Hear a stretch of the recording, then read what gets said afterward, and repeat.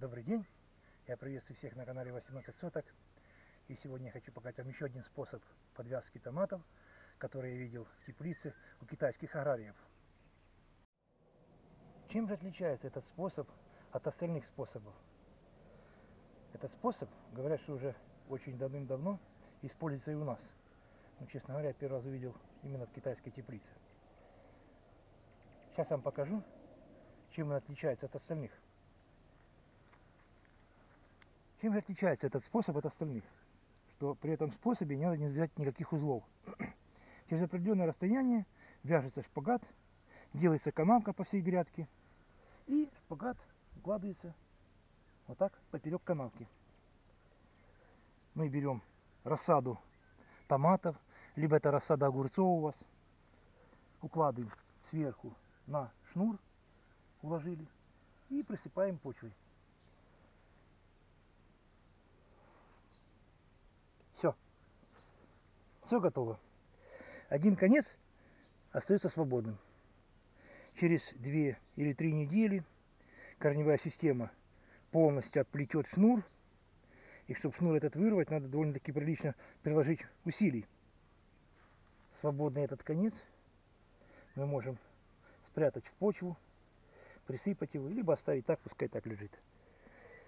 Через определенное время, когда корневая система полностью оплела шнур, мы сможем уже оббить шнуром вокруг нашей рассады.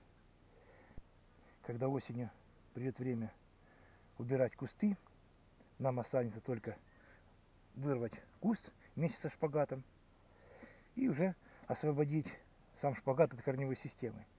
Либо приложить небольшое усилие, взять за нижнюю часть и вырвать сам шнур.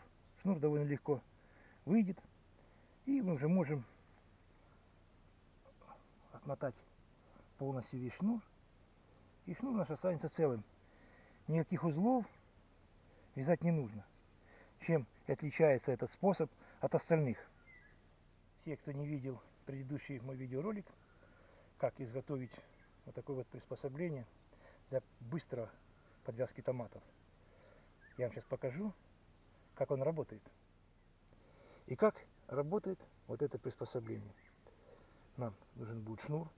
Мы его сложим пополам. Берем приспособление, заводим вокруг ствола томата. Одной петлей захватываем крючок и делаем три витка. Раз, два, три. И затягиваем. Все. Томат подвязан. Снимается точно так же. Если вы хотите увидеть полную версию этого видеоролика, как изготовить такое приспособление, я в конце этого видео оставлю ссылочку на этот видеоролик.